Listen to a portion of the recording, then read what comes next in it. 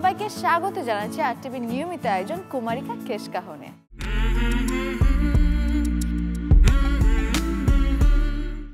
Michael Joseph Jackson, একজন মার্কিন সংগীত শিল্পী নৃত্যশিল্পী, গান লেখক, অভিনেতা, সমাজসেবক এবং ব্যবসায়ী। পৃথিবীর ইতিহাসে সবচেয়ে জনপ্রিয় এবং সবচেয়ে বহুল বিকৃত অ্যালবামের সংগীত শিল্পীদের তিনি অন্যতম। গানের তালে তালে মাইকেলের নাচের কৌশলগুলো ব্যাপক জনপ্রিয়তা লাভ করে। সংগীত, নৃত্যের পাশাপাশি ফ্যাশন জগতেও তিনি সাংস্কৃতিক অঙ্গনে বিশেষ ব্যক্তিত্ব হিসেবে চিহ্নিত হয়ে আছেন। প্রিয় দর্শক, আমরা জানব আজ তারই কেচকাহন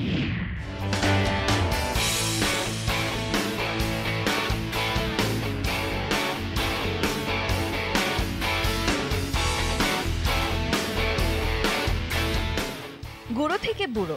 সবাই চেনে তাকে পপ সম্রাট হিসেবে। পপ গানের এই সম্রাট মাইকেল জ্যাকসনের জন্ম আমেরিকাতে উনিশশো সালের উনত্রিশে আগস্ট। অসাধারণ লিরিক্সের পপ গানের সাথে নাচের অনন্য সব কলাকৌশলের কম্বিনেশনই তার জনপ্রিয়তার মূল চাবিকাঠি। ক্যারিয়ারের আত্মপ্রকাশটা উনিশশো সালে মাত্র ছয় বছরে বড় ভাইয়ের সাথে হলেও পরবর্তীতে উনিশশো একাত্তর সালে এককভাবে যাত্রা শুরু করেন তার ক্যারিয়ারে। উনিশশো আশি সালের মধ্যে বেশ জনপ্রিয়তাও কামিয়ে ফেলেন এই পপ সম্রাট। বেস্ট সেলিং মিউজিক আর্টিস্টদের কাতারে বেশ কয়েকবারই জায়গা করে নিয়েছেন তিনি। পাশাপাশি রোবট এবং মুন ওয়াকের মতো দারুণ সব নৃত্য কৌশলের গুরুও কিন্তু এই তারকা। প্রয়াত এই তারকা এত সব দক্ষতার পাশাপাশি কিন্তু ফ্যাশনের ক্ষেত্রেও ছিলেন বেশ দক্ষ। তাই তো, নানান সময়ে তার দেখা মিলেছে নানান হেয়ার স্টাইলের সাথে। তেমনই কিছু হেয়ার স্টাইল হলো।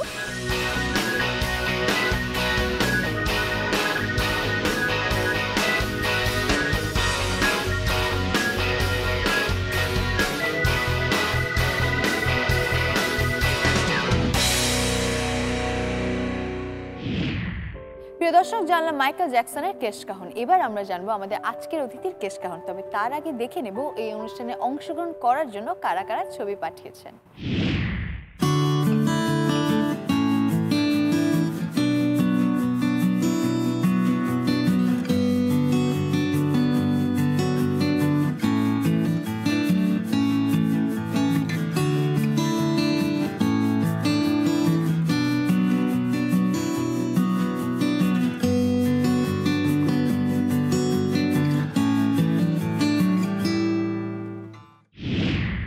দর্শক এখন আমন্ত্রণ জানাব আমাদের আজকের কেশবতীকে। কথা বলব তার সাথে জানব তার দীর্ঘ কেশের গোপন রহস্য। আমাদের আজকের কেশবতী জাকিয়া।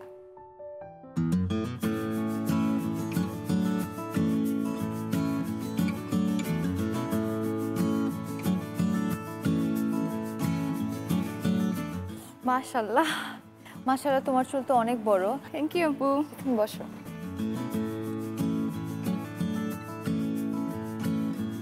কেমন আছো?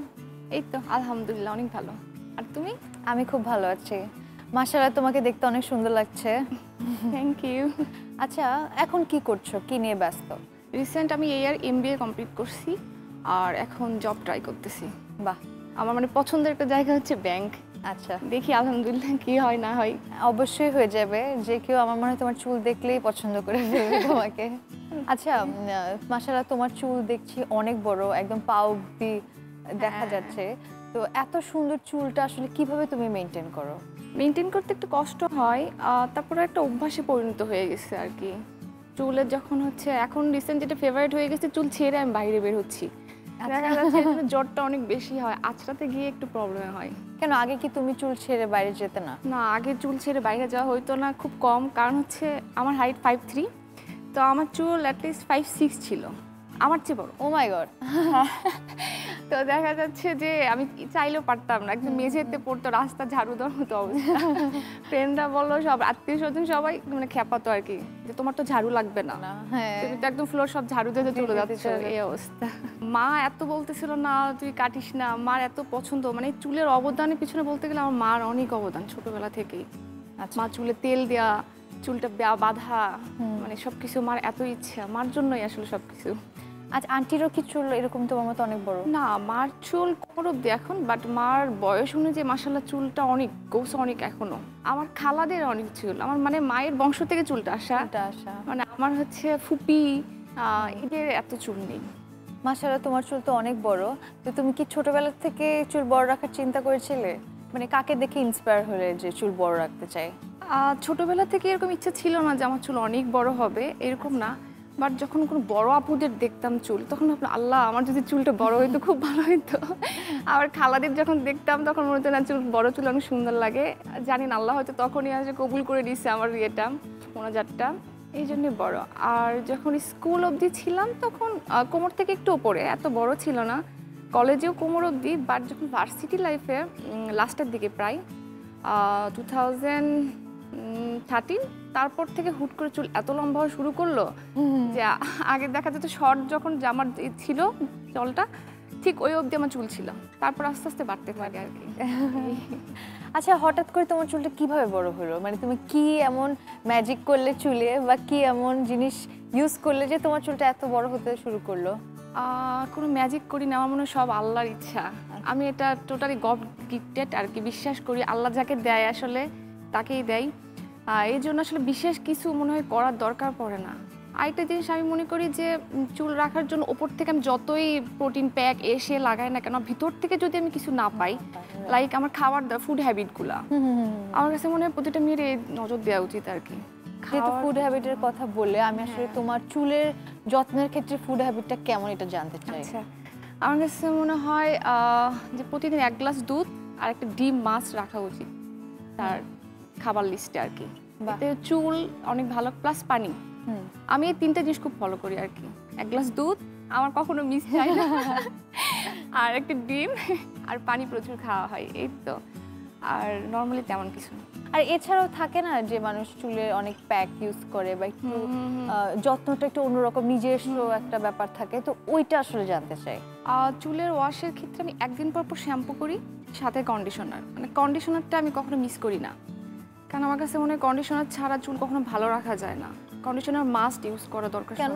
কেন এই জিনিসটা মনে হয়? চুলটা কি রাফ হয়ে যায়? হ্যাঁ রাফ হয়ে যায়। প্লাস হচ্ছে আমার কাছে মনে হয় যে চুল নষ্ট হয়ে যায় একসময়। আমার মানে আল্লাহর রহমতে এখন পর্যন্ত চুলের যে আগা ফাটা ওইটা কখনো হয় নাই। মাশাআল্লাহ। মানে কখনো এটা মানে ফেস করতে হয় নাই যে চুলের আগাটা ফেটে যাচ্ছে। এই প্রবলেমটা ফেস করতে হয় না।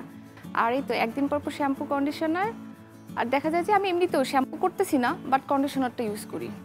সেটা কীভাবে? মানে ধরুন কন্ডিশনটা কীভাবে নর্মাল চুল ওয়াশ করার পরে কন্ডিশনার হালকা কন্ডিশনার লাগাই ফেলি। সেটা কি চুলে গোড়া থেকে নাকি চুলে? না আমি স্কাল্পে কখনো ইউজ করি না জাস্ট চুলে। চুলে। পুরো লেন্থে পুরো লেন্থে ইউজ করা হয়। আর প্যাক বলতে কোনো দেখা যাচ্ছে যে মান্থলি উইকলি তো অয়েল ম্যাসাজ করি। আর হচ্ছে প্যাক বলতে আমি মান্থলি ট্রাই করি একটা ডিম। ডিমের সাথে তেল কিংবা টক দই মিক্সড করে একটা প্যাক ইউজ করা। আগে অনেক করা হতো বাট এখন একটু কমে গেছে চুলের যত্ন। তোমার কিছু ভিডিও ক্লিপস চুলের আমাদের কাছে আছে। আমি চাই আমার অডিয়েন্সরাও তোমার সেই ভিডিও ক্লিপগুলো দেখো। ওকে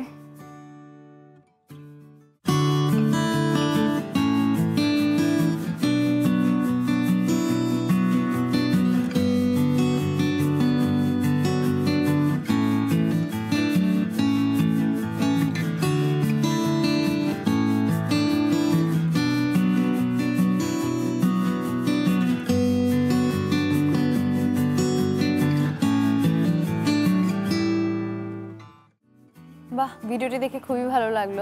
আচ্ছা ভিডিওটি কে রেকর্ড করেছিল? আমার ফ্রেন্ড আচ্ছা তোমার কাছে কি এরকম ভিডিও আরও আছে? না আমার ভিডিও প্লাস হচ্ছে স্টিল পিক সব কিছু অনেক কম চুলের। বিকজ অফ হচ্ছে আমার আসলে শো অফ পছন্দ না যে চুলের ভিডিও করে কিংবা চুলের ছবি তুলে ফেসবুকে হোক কিংবা ছবি তুলে রাখা খুব কম পছন্দ করি। এই জন্য কম করা হয় ভিডিও ছবি। চোখ পছন্দের না হলেও তোমার সুন্দর চুলে কিছু ছবি আমাদের কাছে আছে। আমি চাই অডিয়েন্সরা ওগুলো দেখুক। ওকে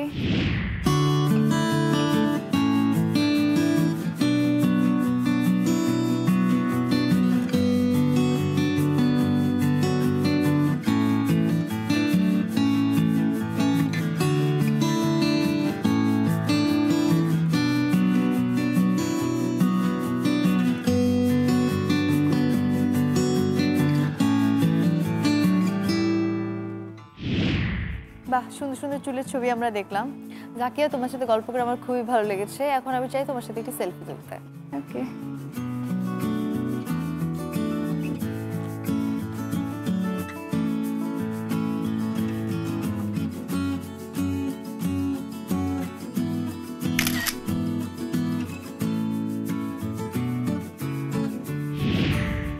thank you so much আমাদের প্রোগ্রামে আসার জন্য। আর টিভি এবং কুমারিকার পক্ষ থেকে তোমার জন্য রয়েছে ছোট্ট গিফট হ্যাম্পার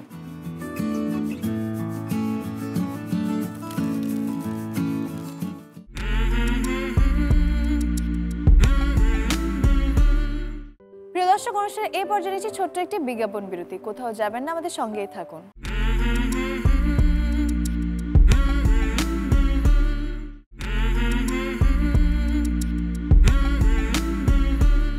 প্রিয় দর্শক, বিরতির পর আবারও ফিরে এলাম কুমারিকা কেশকাহ নিয়ে।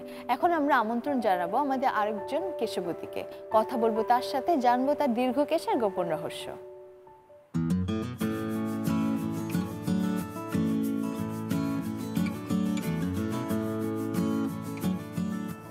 কেমন আছো? ভালো আছি তুমি কেমন আছো? ভালো আছি তুমি বসো। ওকে সোনিয়া কি নিয়ে ব্যস্ত এখন তুমি? এইচএসসি শেষ করলাম নাও এখন ভার্সিটিতে এডমিশন নিব ওইটা নিয়ে প্রিপারেশন নিচ্ছি ওইটা নিয়ে এখন বিজি আচ্ছা তুমি তো আমাদের প্রিভিয়াস একজন গেস্ট ছিলেন মনোয়ারা মুনি তার বোন তাই না? হ্যাঁ। গোপন রহস্য বলতে জেনেটিক্যালি তো কিছু আছে। যেমন আমার নানুর চুল অনেক বড় ছিল আমার চুলও বড় ইভেন আমার ছোট যে বোন ওর চুল অনেক বড়। মানে ফ্যামিলির সবার চুল মোটামুটি বেশ বড়। হ্যাঁ সবার চুলই বড়। তোমার চুলের গ্রোথটা তোমার ফ্যামিলি থেকে এসছে। এছাড়াও আমি আসলে জানতে চাই যে চুলের পরিচর্যার ক্ষেত্রে তুমি আসলে কি কি উপাদান অ্যাপ্লাই করে থাকো? চুলের পরিচর্যার ক্ষেত্রে অয়েল ম্যাসাজটা অনেক বেশি ইম্পর্ট্যান্ট আমি দুই থেকে তিনটা তেল একসাথে মিক্স করে একটা হট ম্যাসাজ দিই। বাহ! দেন হাফ অ্যান আওয়ার রাখলাম। Not more than one hour গতবার শ্যুট করে গেল। দেন দেখার পর আমারও ইচ্ছা হলো যে আমিও এখানে আসি।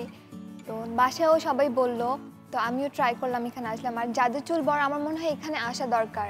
কারণ একটা ভালো এক্সপিরিয়েন্স হবে এখানে আসলে। আচ্ছা তোমার বোনের চুল তো তোমার থেকে বড়।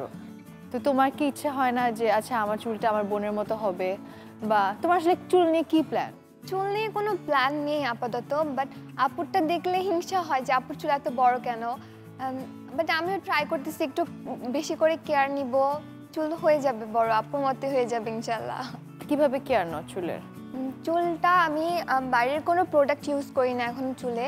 হার্বাল শ্যাম্পু তৈরি করি মেথি শুকনো আমলকি শিকাকাই এগুলো রাতে ভিজিয়ে রাখি। দেন সকালে ওটা বয়েল করে। অ্যাজ আ শ্যাম্পু ইউজ করি চুলে। সপ্তাহে দুইবার আমি এটা শ্যাম্পুর মতো ইউজ করি। তো ভালো ফলাফল পাই। এটা তুমি কবে থেকে ইউজ করছ? অনেক দিনই হবে। প্রায় দুই তিন ইয়ার ধরে ইউজ করতেছি এটা। আচ্ছা তো এ তোমার কি মনে হয় যে এটা চুলের জন্য ভালো বা চুলটা কি ঠিক মতো ক্লিন হয় কিনা? আগে আমার অনেক হেয়ার ফল হতো। তো এটা অ্যাপ্লাই করার পর আমার হেয়ার ফলটা খুব কমে গেছে। তোমার মাথাটা কীভাবে আসলো যে হার্বাল প্রোডাক্ট আমি ইউজ করব? বা বাইরের প্রোডাক্ট আমি ইউজ করব না। এটা কি তোমার ডিসিশন নাকি তুমি কাউকে ফলো করে বা জেনে জিনিসটা করছ? আমার নিজের মধ্যেও ছিল। তারপর দেখলাম আপু অ্যাপ্লাই করে। তো আপু অ্যাপ্লাই করে না ভালো রেজাল্ট আসছে আপুর। আপুর হেয়ার ফল হতো তো আপুর হেয়ার ফল কমে গেছে। তো আমিও অ্যাপ্লাই করা শুরু করলাম আমারও হেয়ার ফলটা কমে গেল। তো ওইখান থেকে আইডিয়াটা আসছে। চুল ক্লিন করাও ছাড়াও আর তুমি কীভাবে চুলটা টেক কেয়ার করো? আমি কুমারিকাটা চুলে অ্যাপ্লাই করি ওইটা মাঝে মধ্যে গরম করে তারপর চুলে অ্যাপ্লাই করি দেন সকালে শ্যাম্পু করে ফেলি। সপ্তাহে দুই তিনবার আমি এটা অ্যাপ্লাই করি। তো ভালো রেজাল্ট আসে। আচ্ছা চুলের তেল বা ক্লিন করা ছাড়াও আর কোনো কিছু কি করে থাকো যেটা চুলকে আরও ভালো রাখে কোনো প্যাক বা এনিথিং না ওরকম কিছু এখনও করা হয় না। জাস্ট হার্বাল শ্যাম্পুটাই ইউজ করি আর কুমারিকা তেলটা ইউজ করি। এর বাইরে কিছু ইউজ করি না। আচ্ছা সোনিয়া তোমার কি চুল নিয়ে কোনো মজার ইনসিডেন্ট মনে পড়ছে এখন? মজার কোনো ইনসিডেন্ট নাই বাট ফ্রেন্ডদের মধ্যে যখন চুল বড় থাকে তখন ফ্রেন্ডরা অনেক প্রশংসা করে তোর চুল দিয়ে দে বা তোর চুল এত লম্বা কেন? আমি নিয়ে যাব।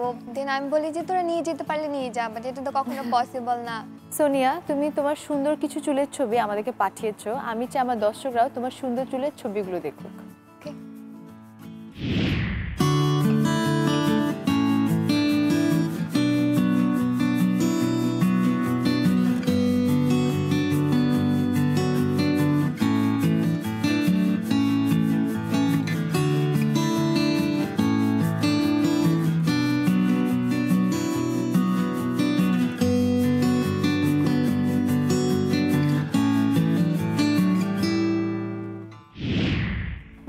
সুন্দর সুন্দর ছবি দেখলাম। এখন আমি তো তোমার সাথে একটি সেলফি তুলতে চাই। চলো।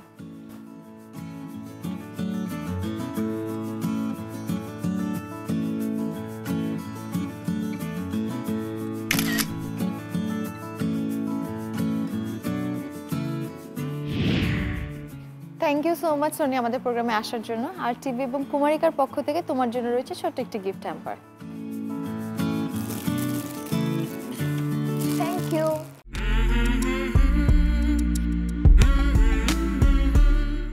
প্রিয় দর্শক, আপনারা যারা জাকি এবং সোনিয়ার মতো কুমারিকা কেশ কাহনে অংশগ্রহণ করতে চান, তারা জেনে নিন অনুষ্ঠানে অংশগ্রহণ করার নিয়ম। আপনি যদি দীর্ঘ কেশের অধিকারিণী হন, তাহলে ফোর আর সাইজের দুই কপি ছবি সহ চিঠি পাঠিয়ে দিন এই ঠিকানায়। প্রযোজক কুমারিকা কেশকাহন বিএসইসি ভবন, ষষ্ঠ তলা, একশো দুই কাজী নজরুল ইসলাম অ্যাভিনিউ, কাউরন বাজার, ঢাকা বারোশো পনেরো। অথবা ছবিসহ ইমেল করুন Kumarika Keshkahan at R TV BD dot TV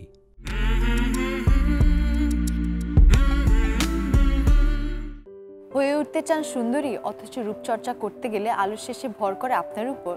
চুল বাঁধার কথা চিন্তা করলে রীতিমতো যেন গায়ে জ্বর চলে আসে। নো প্রবলেম এখন আমরা আপনাদের দেখাবো সহজ ঝটপট হেয়ারস্টাইল টিপস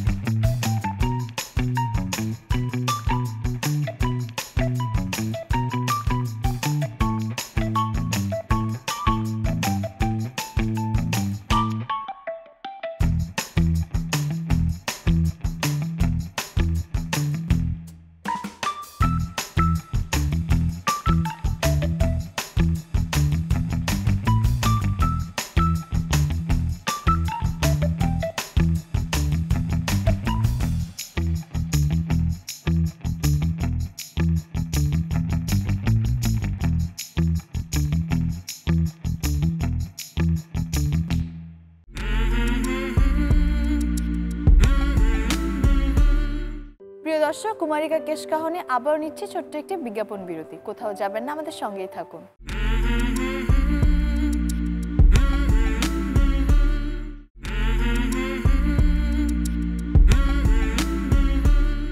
প্রিয় দর্শক, বিজ্ঞাপন বিরতির পর আবারও ফিরে এলাম কুমারিকা কেশকাহন নিয়ে।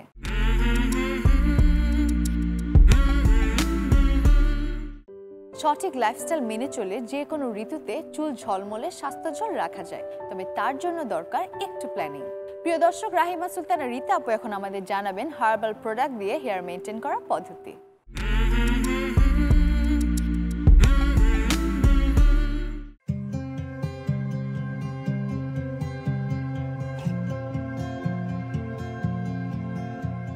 হেলদি হেয়ারের জন্য একটা প্রপার লাইফস্টাইল আমাদের অত্যন্ত প্রয়োজন। শুধুমাত্র হেয়ার প্যাক অয়েল ম্যাসাজ এগুলো করলেই চলবে না। পাশাপাশি দরকার আমাদের একটা হেলদি লাইফস্টাইলের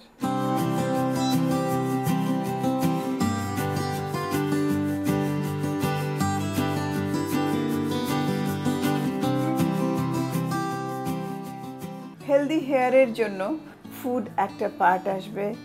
নিয়মিত আমাদের এক্সারসাইজ একটা পার্ট আসবে এবং ঘুম অনেক বড় একটা অংশ। আজকাল দেখা যায় যে আমরা কম ঘুমাই। চার থেকে পাঁচ ঘন্টাও অনেকের ঘুম হয়। অনেক রাত পর্যন্ত আমরা ফেসবুক টেলিভিশন এগুলোর মধ্যে থেকে যাই। তো এই ডিভাইসের সাথে থাকার কারণেও কিন্তু আমাদের ঘুম কমে যাচ্ছে। মিনিমাম আমাদের সাত থেকে আট ঘণ্টা ঘুমানো উচিত। সেই ক্ষেত্রে দেখা যায় আমাদের ঘুম হচ্ছে, চার ঘন্টাও অনেক সময় ঘুম হয়। তো এটাও আমাদের চুলকে হেলদি না রাখার পেছনে একটা বড় কারণ। এক্সারসাইজ আমাদের একটা ইম্পর্টেন্ট পার্ট হেলদি হেয়ারের জন্য। কারণ আমরা যখন এক্সারসাইজ করি, আমাদের ব্লাড সার্কুলেশন বেড়ে যায় টক্সিনটা শরীর থেকে বেরিয়ে আসে। এতে আমাদের হেয়ার হেলদি থাকে।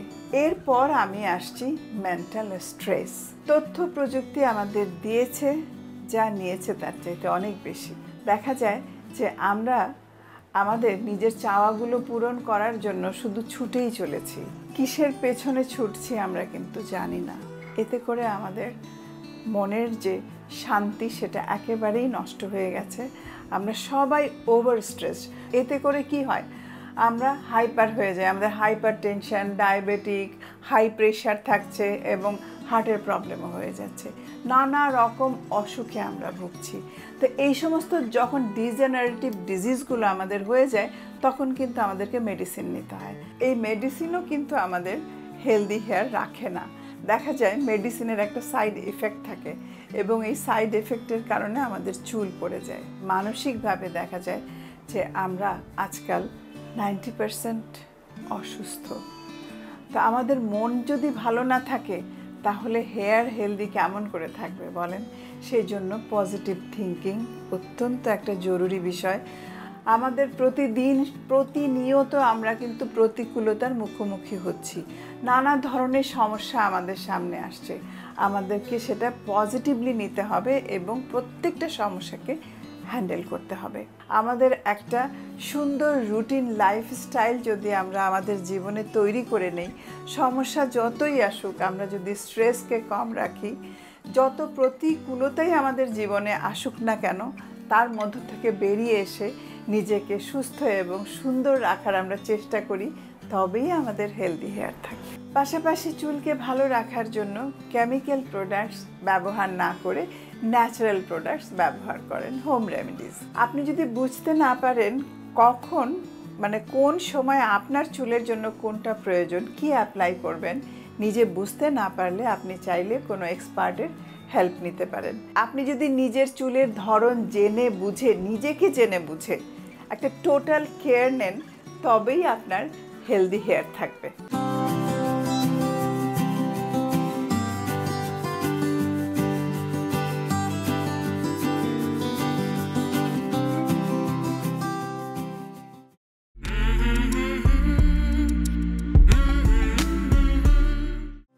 দর্শক এই ছিল আমাদের আজকের আয়োজন। আবারও দেখা হবে আগামী পর্বে। ততদিন পর্যন্ত সবাই ভালো থাকুন, সুস্থ থাকুন এবং নিয়মিত চুলের যত্ন নিন। আল্লাহ হাফেজ।